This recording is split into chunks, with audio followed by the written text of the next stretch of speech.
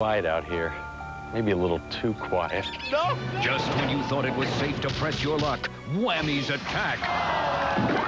Join Todd Newton as he tries to survive the madness when Whammy's attack. A three-hour marathon of Whammy.